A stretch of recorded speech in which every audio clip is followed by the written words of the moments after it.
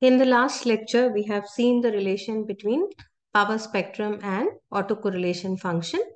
And we have proved that if x of t is wide sense stationary, at least wide sense stationary, then the autocorrelation function can be completely recovered from with the knowledge of power spectrum. And if at all the random process is non-stationary, then only time average of autocorrelation function is recoverable. That is what we have seen in both the equations.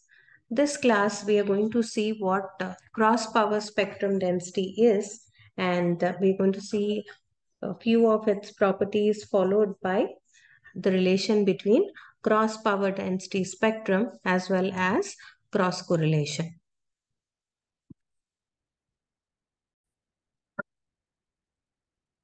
The cross power spectrum density, power density spectrum is given, uh, is uh, obtained from uh, taking the power spectrum of uh, both x of t and y of t added together.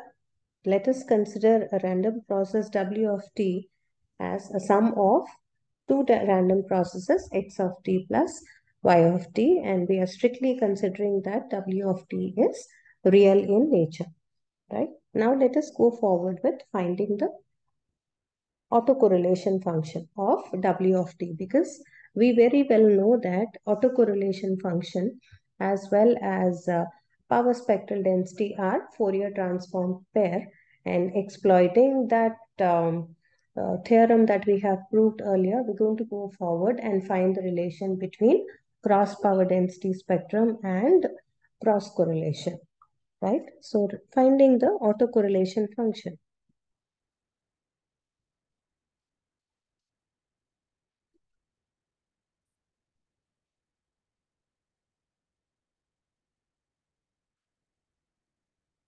of W of t r w w of t comma t plus tau. This is what we have done when we tried to work with two random variables in unit 3. This is going to be expectation of w of t times w of t plus tau. And we very well know that w of t is sum of x of t and y of t. So we're going to straight away write that as x of t plus y of t times x of t plus tau times, sorry, I have a plus here.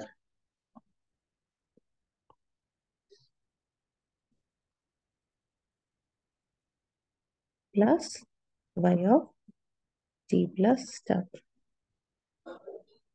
This is how we're going to have our expression and then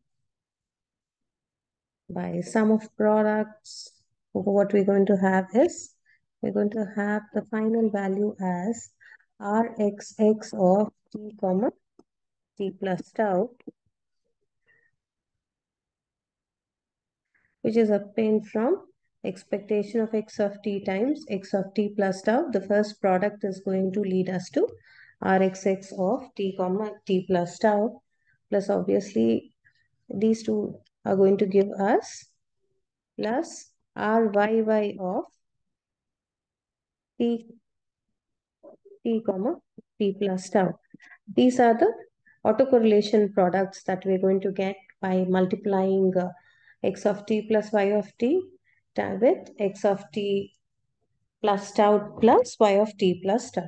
And you have two cross products that will be coming up when you multiply y of t with x of t plus tau and x of t with y of t plus tau. You will be having two products that will come up. So this is with xy.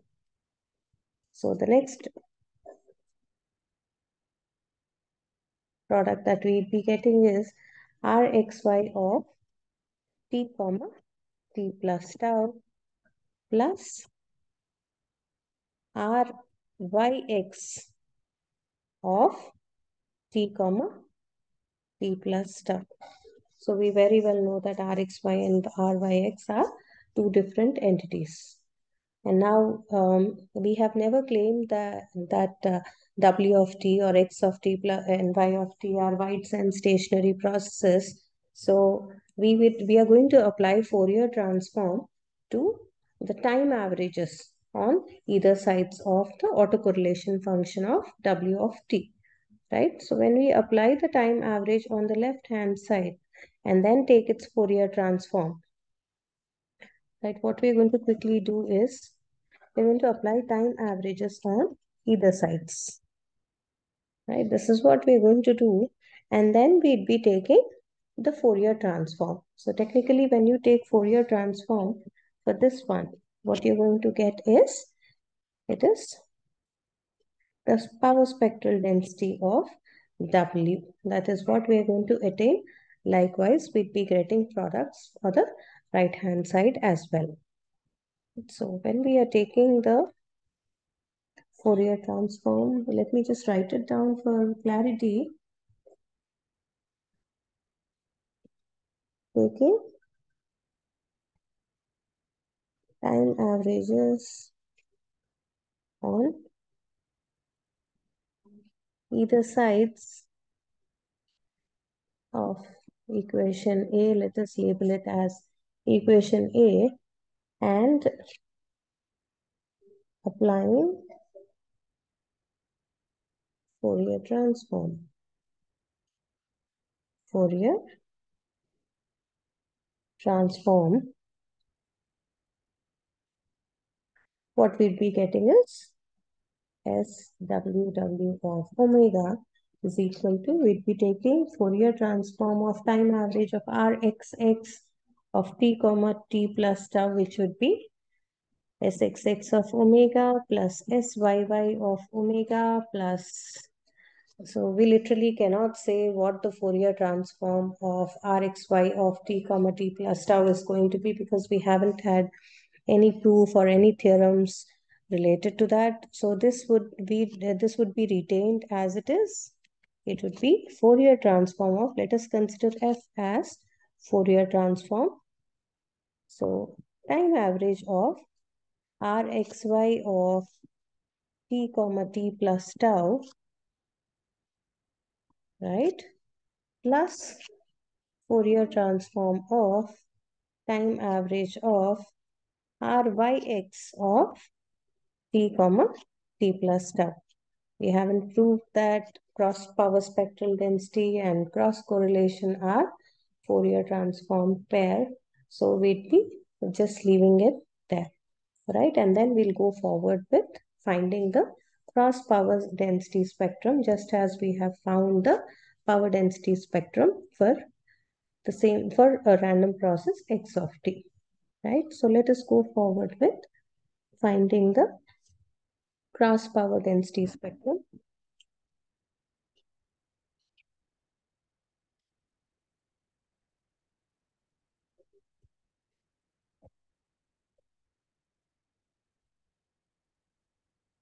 So as we have assumed initially when we were doing the power density spectrum, uh, we had taken for a single random process x of t then here we'd be going forward with. For two real random processes. We are ensuring that x of t and y of t are real in nature. Okay. For two real random processes, we basically define xt of t as a portion of sample space x of t over minus t to t. Otherwise, it's going to be 0. This is the same thing that we have done for a single random process when we were trying to get the, get the expression for uh, power density spectrum. And the next one, obviously, it is going to be the definition, the sample function yt of t for which we'd be taking just a portion. We're just taking a portion of the sample function. I hope all of you remember how we have seen that um, we cannot have a voltage density spectrum and hence we go forward with the power density spectrum that we have seen in the earlier lectures. Okay, and we are assuming that both xt of t and yt of t are, are bounded, are bounded. Because um, we need to apply Fourier transform to this and for us to, for xt of t and yt of t to be Fourier transformable, they have to abide to the Dirichlet condition and hence we are assuming that xt of t and yt of t are bounded in nature okay? Mm. are bounded. To obey Dirichlet condition Dirichlet's condition why does it need to obey Dirichlet condition for it to be Fourier transformable. That is the basic reason. And once we do the Fourier transform, we'd be, uh, with the help of Parseval's theorem, we'd be finding the energy and subsequently the power, the power dense, uh, the power average power of the signal from which we will be attaining the cross power density.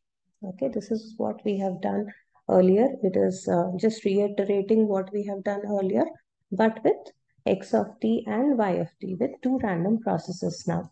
Okay, so now we'll again, now that we have assumed xt of t, now that we have ensured that they are bounded, we can directly write xt of t has the Fourier transform, the sample, the portion of the sample function of the random process xt of t has the Fourier transform xt of omega and this has yt of omega as its random process and now we define the cross power. We never had cross power earlier but now we had pxx earlier and we had a single random process.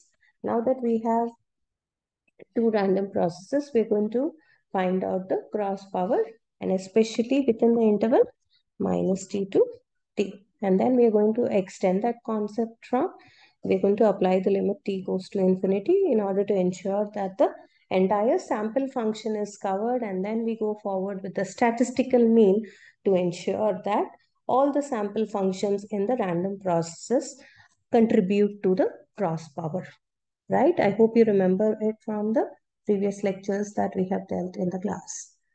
Right now how are we going to define the cross power? Bxy t is the expression that we have given to it. It is 1 by 2 times t integral minus t to t xt of t and then by t of t dt. Earlier it was absolute value of xt, x, I'm sorry, x square of t dt in the time domain and because we are precisely writing it in the region minus t to t, we can directly write xt of t as x of t and yt of t as y of t. We have already defined here. So we could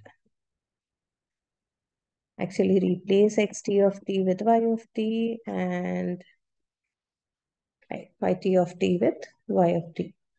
Okay. And again, going forward, because we know that x of t and y of t are Fourier transformable, the Parseval's theorem that of energy that we have seen can be applied here and we can write Exy of t as I think we can directly write the power because we have already seen this expression for uh, the power density spectrum. We can directly go to the power and then express it rather than redoing everything again. So I'd be writing Pxy of t as 1 by 2 times t integral minus t to t x of t y of t dt in the time domain. This is the average power in the time domain. And its counterpart in the frequency domain is going to be 1 by 2 pi integral minus infinity to infinity because it's xt and yt. One of it will be a conjugate and the other one is directly written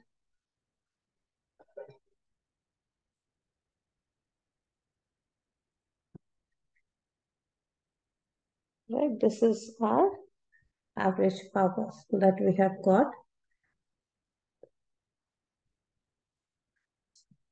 And we all very well know that uh, the cross power, this is the cross power that we have obtained in one of the sample functions of the random processes x of t and y of t.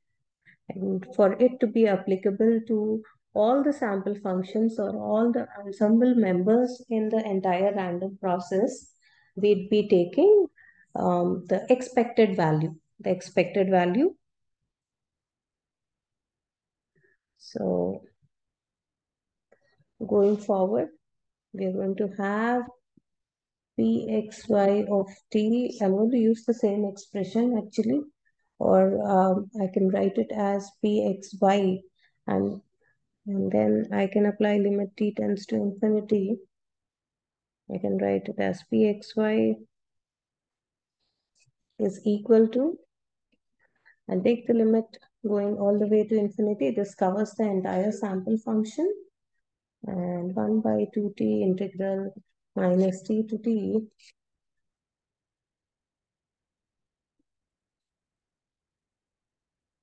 it is expectation in the time domain this is going to be expectation of x of t sorry capital x of t capital y of t dt because we're going to take an expectation so this would turn out to be limit t tends to infinity 1 by 2t integral minus t to t r x y of t comma t dt. Now there's not going to be any change in the times because it, one belongs to x of t and the other one belongs to y of t. And the same thing when we write it in the frequency domain by applying the Parseval's theorem of the Fourier transform, this is going to be 1 by 2 pi integral minus infinity to infinity expectation of xt star of omega times yt of omega by 2 times t d omega and uh, limit t tends to infinity is what I have forgotten to apply here. I'll write it down. So limit t tends to infinity. The same thing has to apply here. Let me change a bit for us to get uh, cross power formula and cross correlation formula. So I'll be changing uh, it a bit because this will be 1 by 2 pi integral minus infinity to infinity limit t tends to infinity expectation of xt star of omega yt of omega right by 2t d omega. The expression that we have got here limit t tends to infinity. Expectation of the random process x of omega the conjugate of the random process x of omega to y of omega by 2t is nothing but our cross power density spectrum. That is the expression for our cross power density spectrum. So let us write it uh, clearly Sxy of omega is limit t tends to infinity. Expectation of xt star of omega with yt of omega by 2 times t by 2 times t. Right? This is what uh, we have.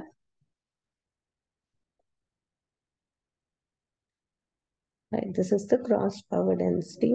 And if you want the cross power as mentioned earlier, if you want the cross power in terms of power density spectrum, we have Pxy as 1 by 2 pi times and you integrate the cross power density between minus infinity to infinity. This is the formula for the cross power and this is the cross power density spectrum. okay, or cross power density to be very, I mean, it is cross power density. Right, so these are the expressions that we have got. And if at all you want, we have two types of, uh, like we have RXY and RYX. Likewise, we have SXY and SYX. So let us quickly write down the expression for Syx of omega. We can also repeat the same procedure and the same procedure has to be iterated and we'd be taking pyx of t in place of pxy of t. By iterating, we can directly write syx of omega as limit t tends to infinity exponential of xt star of omega times xt of omega by 2t. Very simple. And p by x is going to be 1 by 2 pi times integral minus infinity to infinity s syx of omega d omega. The power that you get is also going to be a conjugate. And if you want the total cross power, okay, the total cross power can be given as the total cross power is given as pxy plus pyx. Okay, this is about the over, this is about the cross powers that we are generating. I mean, the, the sum of pxy and pyx goes above the individual cross powers, obviously. Right? And we are considering, we are ensuring that they are not orthogonal. I hope you understand what orthogonality means. The x and y are not orthogonal to each other. And quickly going through the properties of uh, cross power density spectrum,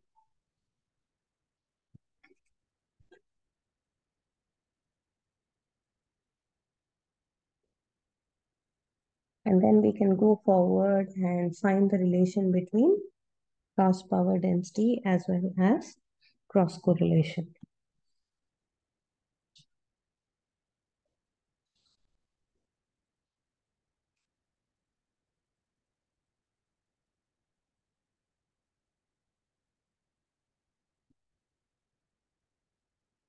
You can write it as spectrum because when you plot it, what you're going to get is the spectral characteristics. We can actually do one problem in order to understand how the power density spectrum is going to be. We can work it out as soon as we are done with the properties. Right, the first property, very similar to what we have seen for the power density spectrum, but because we have two random processes, uh, we're going to see the relation between Sxy and Syx. So when you talk about Sxy of omega, it is going to be Syx of minus omega, Syx of minus omega, or you can write it as Syx star of omega. This is the first property. We do not need proofs for this. You can understand the power density concepts from the Fourier series that we have done. Okay, Fourier series or Fourier transforms that we have done in signals and systems. So that should be good enough. So here real value of Sxy of omega and real value of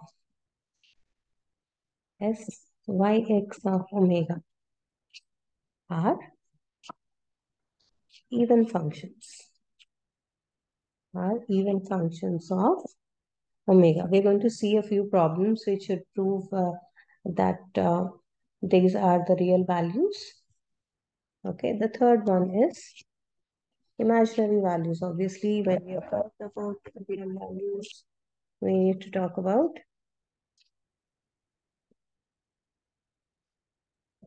imaginary values of x of omega are odd functions. Odd functions of omega. Okay, these are the first three properties. Now, we have earlier whatever um, properties of cross, uh, whatever expressions for cross power density spectrum that we have developed are based on we considering that x of t and y of t are not orthogonal to each other. So what happens if x of t and y of t are orthogonal to each other? Then the the cross power density is going to be zero in either cases. In either cases, if x of t and y of t are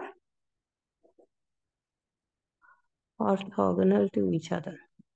We know very well that uh, the product of uh, uh, the two random variables and integrated over one um, particular interval is going to be zero. We have seen the same during the autocorrelation and we've seen that covariance covariance of two random functions, two random processes is going to be 0 if x and t or x of t and y of t are orthogonal and hence it's Fourier transform pair, right? Property number 5 goes the way. Clearly say x of t and y of t are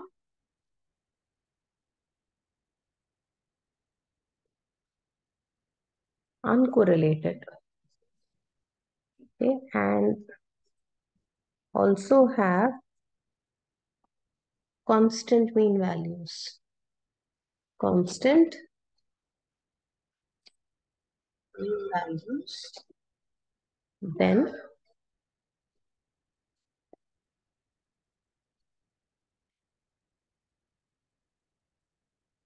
cross power densities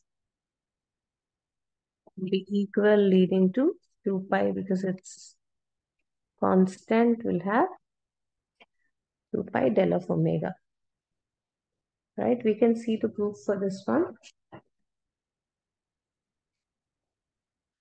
And the next one that we have seen and proved earlier, the time average of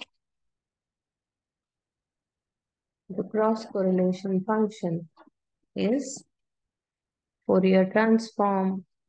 When you Fourier transform it, you're going to get cross power density spectrum. Likewise, when you do the Fourier transform of Ryx of t comma t plus tau, what you're going to get is Syx of omega. These are the Fourier transform pair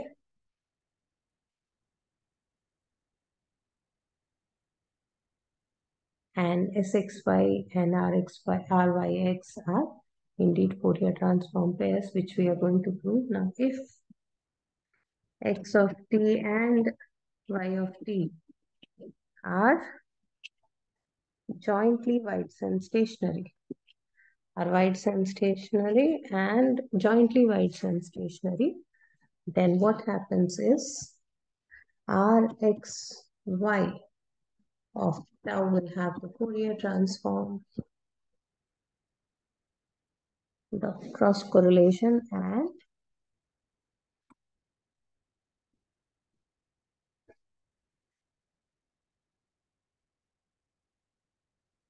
right these are the basic uh, relation between autocorrelation and cross power density spectrum so as mentioned earlier let us see how the spectrum is going to be whenever we try to find out the relation between autocorrelation and cross correlation now the problem that we want to talk about is a very simple one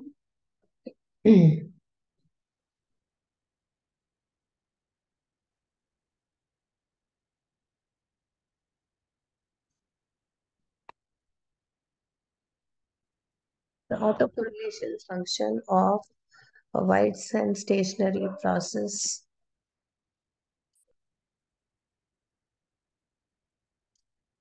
is given as Rxx of tau.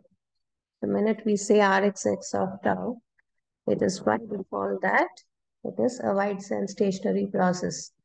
Even if you see wide sense stationarity or, or not, shouldn't really matter because Rxx of tau clearly indicates that the process is wide sense stationary. And here we will talk about the, the constants A naught, omega naught are constants. Okay. Now, what we are what we are to do is find out the find the power density spectrum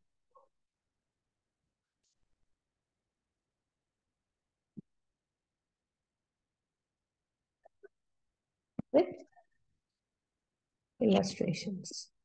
So we're going to see how important it is for us to go into the frequency domain and then fetching the details of the autocorrelation function in the time domain, right? We're going to see how it happens. So now, because we have a wide sense stationary process, we can clearly say that Rxx of tau and sxx of omega are Fourier transform pairs. And we simply need to do the Fourier transform for a naught square cos omega naught tau.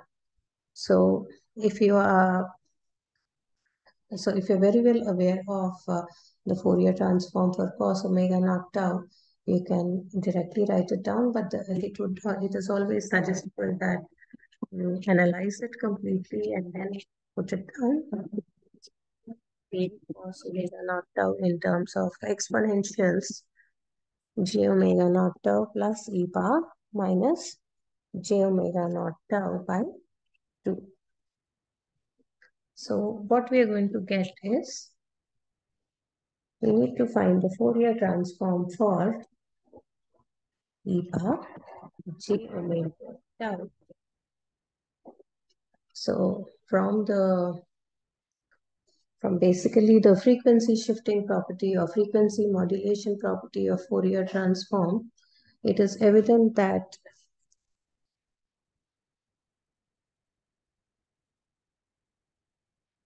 the Fourier transform of 1 is 2 pi del of omega and the Fourier transform of sorry the inverse Fourier transform to be very precise of 2 pi del of omega minus omega naught is e power j omega naught tau. Likewise, if you want the Fourier transform for 2 pi del of omega plus omega naught, it would be e power minus j omega naught tau. This is according to the frequency modulation property of Fourier transform and I, I'm sure you guys are very well aware of it. So this will be Fourier transform of e power plus j omega naught tau is going to be 2 pi del of omega minus omega naught and this is going to be 2 pi minus or plus I think I can write it over here rather than doing two different expressions. So I'm going to put the same here and then find out the power density and then illustrate it. So Sxx of omega is what we have is a naught square by 4 times 2 pi del of omega plus omega naught plus del of omega minus omega naught right? So the, what we're going to get is pi a naught square by 2 times del of omega plus omega naught plus del of omega minus omega naught. Right, this is what we'd be getting. And if we have to illustrate it in the time domain, the signal that we have is Rxx of tau. So let this be tau. It is cos omega naught tau. So when we construct cos omega naught tau,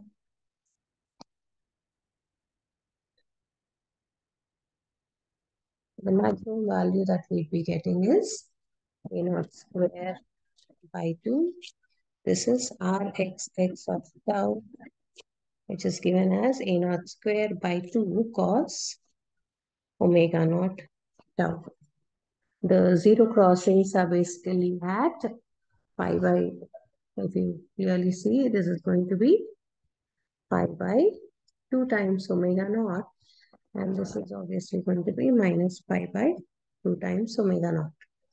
Okay, now the Fourier transform for this that we have got, this is omega domain and this is the power spectrum density Sx of omega. What we have got is at minus omega naught and plus omega naught, we have impulses of strength and to see a sync between the lines. This is going to be a naught square pi a naught square pi 2. Right? This is the plotting of the time domain signal as well as the frequency domain signal, which is the power spectrum density as well as the autocorrelation function, specifically for a white and stationary random process x of t. All right, this is how we do the problems if at all we have. These are pretty straightforward and easy to work it out. Ensure that you're drawing the spectrum as well as the time domain signal clearly. We will continue with the relation between cross power density spectrum and cross correlation in the next lecture.